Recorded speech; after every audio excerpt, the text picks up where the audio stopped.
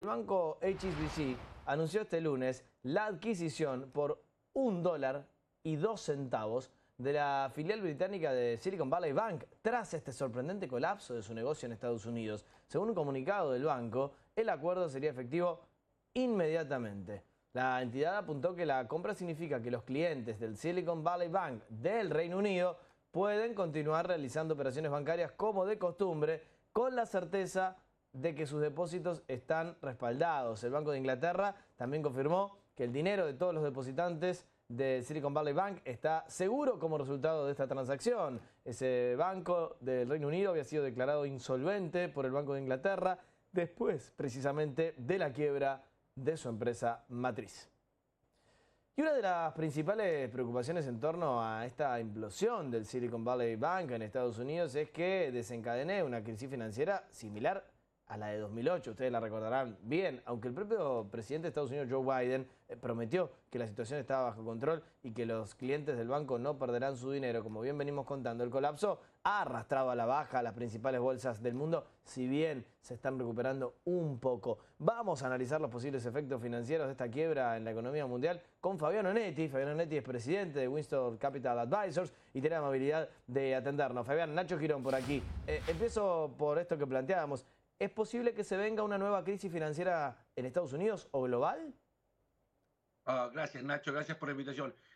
Como conversamos ayer con nuestros clientes, no es un problema grande, pero tampoco deja de serlo. Y ese es el temor, y por eso probablemente el gobierno de Estados Unidos actuó de la manera que actuó el fin de semana. El viernes parecía que solamente aquellos depositantes que tenían el seguro em, bancario de 250 mil dólares por cuenta, eran los únicos que estaban beneficiados, el resto aparentemente iban a perder, pero en el fin de semana esta posición se cambió y ayer domingo a la noche hubo el anuncio que todos los depositantes iban a recibir sus fondos, con lo cual había un temor de que hubiese un contagio mayor al resto del sistema.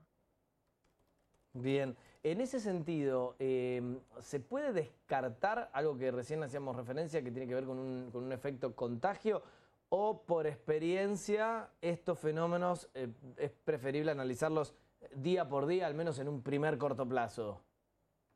Día por día, Nacho. Yo creo que ah. el gobierno de Estados Unidos dio unos primeros pasos cuando se, se supo que si bien el Silicon Valley Bank era un banco mediano, gran parte de la industria de nuevas tecnologías, fintech, los startups de tecnología en el Silicon Valley de California, eh, tenían sus fondos ahí y esto iba a generar el colapso de muchísimas eh, compañías pequeñas que estaban justamente arrancando con um, innovaciones muy novedosas porque se quedaban sin los fondos que tenían para operar.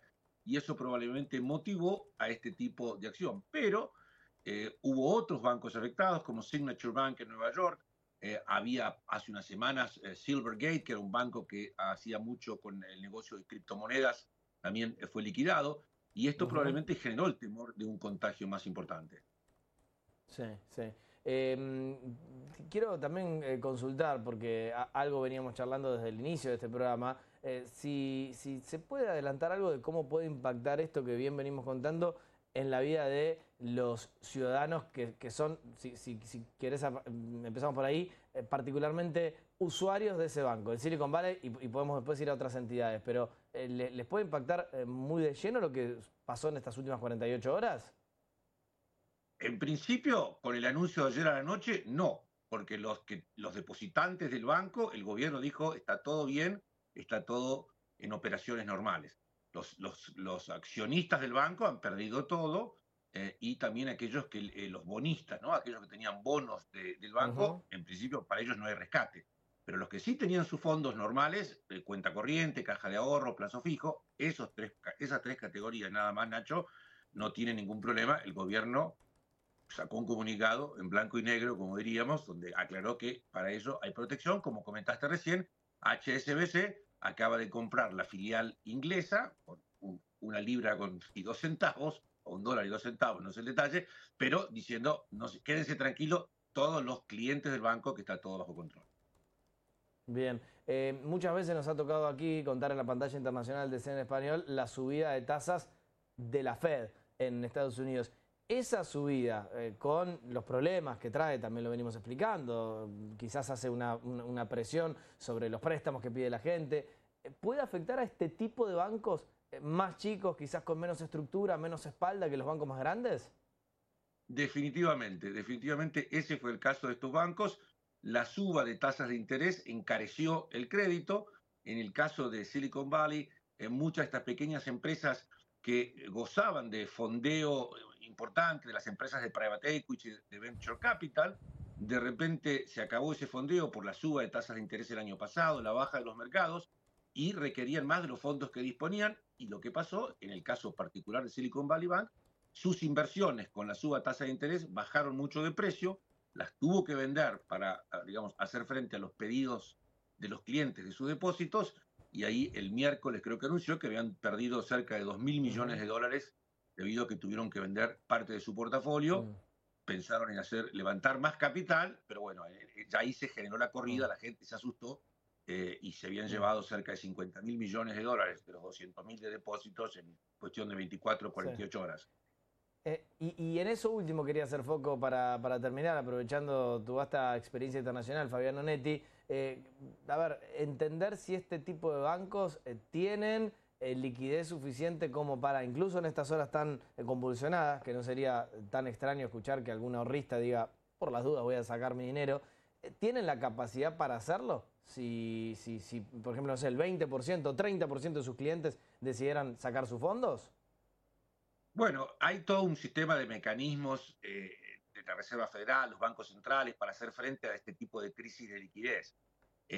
Hay que también reconocer una cosa, Nacho, que, que en el mundo de hoy, que es todo digital, sacar plata del banco es un instante. Antes uno tenía que ir al banco, pedir que diera la plata. Hoy uno va a la página web del banco, pide que hagan un giro y ya está. O lo gira automáticamente, hace un pago y la plata se va.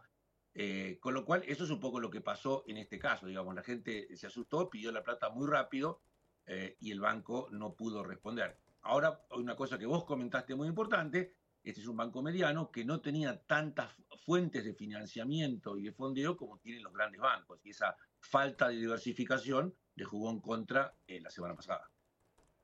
Bien, una, una más, si se me permite. En este contexto ¿no? de, mucho río revuelto, eh, para, para, que se entienda, y, también mucha expectativa con lo que puede pasar de cara a los próximos días, ¿las criptomonedas ganan? Es una pregunta difícil. Ah, puede ser, de hecho han subido un poco de alguna manera ah, porque ah, por lo menos en las criptomonedas no hay banco, no hay intermediario, uno puede tener su billetera digital y tenerlas ahí y eso ha sido, ha sido una, eh, claramente es una ventaja porque no hay un intermediario eh, que pueda generar este tipo de problemas.